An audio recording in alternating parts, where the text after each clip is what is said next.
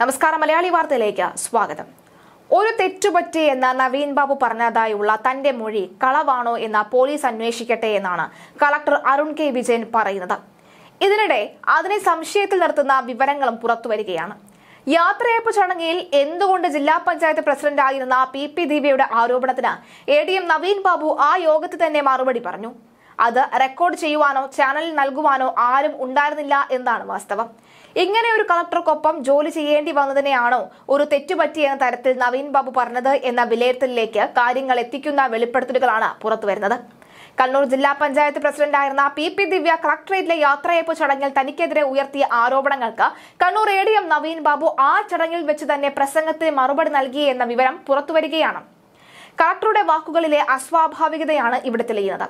Petrol പമ്പിന്റെ പരിശോധനയ്ക്കായി തെരഞ്ഞെടുപ്പ് കാല തിരക്കിനിടയിലും ഒന്നിലേറെ തവണ സ്ഥലം സന്ദർശിച്ചും മനഃപൂർവം ഫയൽ വൈകിച്ചിട്ടില്ല എന്നുമാണ് എ ഡി എം പറഞ്ഞത്. കാസർഗോഡ് നിന്ന് പത്തനംതിട്ടയിലേക്ക് നേരിട്ട് സ്ഥലം മാറ്റം ലഭിക്കണമെന്നാണ് ആഗ്രഹിച്ചിരുന്നത്. തെരഞ്ഞെടുപ്പ് കാലത്ത് കണ്ണൂരിൽ ജോലി ചെയ്യാൻ ആരും തയ്യാറാകാതിരുന്നതിനാലാണ് താൻ നിയോഗിക്കപ്പെട്ടതെന്നും പറയുന്നു. ഇങ്ങനെ വിശദീകരണം നൽകിയിട്ടും കളക്ടർ മാപ്പ് പറഞ്ഞുവെന്ന വരുത്തി തീർത്ത പി പി ദിവ്യയെ രക്ഷിക്കാൻ ശ്രമിച്ചുവെന്നാണ് വ്യക്തമാകുന്നത്. Land revenue joint commissioner A Geetha സമർപ്പിച്ച അന്വേഷണ റിപ്പോർട്ടിൽ ചില ജീവനക്കാർ നൽകിയ മൊഴിയിലാണ് എ ഡി എമ്മിന്റെ പ്രസംഗം പരാമർശിക്കുന്നത്. യാത്രയപ്പ് ചടങ്ങിന്റെ വീഡിയോ പ്രാദേശിക ടി വി ചാനലിന് പുറമെ ചില ജീവനക്കാർ മൊബൈൽ ഫോണിലും പകർത്തിയിരുന്നു. ഈ വീഡിയോ ദൃശ്യങ്ങളും ജോയിന്റ് കമ്മീഷണർ ശേഖരിച്ചിട്ടുണ്ട്. ചടങ്ങിന് ശേഷമാണ് എ ഡി എമ്മും കളക്ടറും തമ്മിൽ കളക്ടറുടെ ചേംബറിൽ കൂടിക്കാഴ്ച നടത്തിയത്. എനിക്ക് തെറ്റുപറ്റി എന്ന് നവീൻ ബാബു പറഞ്ഞതായി കളക്ടർ പോലീസിനും ജോയിന്റ് കമ്മീഷണർക്കും മൊഴി നൽകിയത് ഏറെ വിവാദമുയർത്തിയിരിക്കുകയാണ്. ഗീതയുടെ റിപ്പോർട്ട് പുറത്തു വന്നാൽ കളക്ടർ എല്ലാ അർത്ഥത്തിലും പൊളിയും. ദിവ്യയ്ക്ക് വേണ്ടി നടത്തിയ ഇടപെടലും വ്യക്തമാവുകയാണ്. അതുകൊണ്ടാണ് ആ റിപ്പോർട്ട് പുറത്തുവിടാനുള്ള മടിക്ക് കാരണം. തെളിവ് നിരത്തിയാണ് നവീൻ ബാബുവിന്റെ സത്യസന്ധതയെ ഗീത റിപ്പോർട്ടിൽ ഉയർത്തി കാണിക്കുന്നത് പെട്രോൾ പമ്പുമായി ബന്ധപ്പെട്ട ഫയൽ നീക്കത്തിൽ എ ഡി എമ്മിന് ക്ലീൻ ചിറ്റ് നൽകിയുള്ള റിപ്പോർട്ടാണ് ജോയിന്റ് കമ്മീഷൻ സമർപ്പിച്ചത്. കൈക്കൂലി ആരോപണങ്ങൾക്കും തെളിവില്ല എന്നാണ് റിപ്പോർട്ടിലുള്ളത്. Revenue principal secretary chief secretary revenue മന്ത്രി എന്നിവർ അംഗീകരിച്ച റിപ്പോർട്ട് മുഖ്യമന്ത്രിക്ക് കൈമാറിയിരിക്കുകയാണ്. പക്ഷേ നടപടി മാത്രം എടുത്തിട്ടില്ല. മുഖ്യമന്ത്രിയുടെ ഓഫീസിലും ദിവ്യയെ അനുകൂലിക്കുന്ന ലോബിയുണ്ട്.